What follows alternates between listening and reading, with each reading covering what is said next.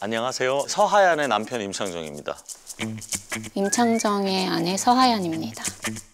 엄마를 잘 만났어. 오빠 준재 준비 등원 준비 좀 해줘. 내가?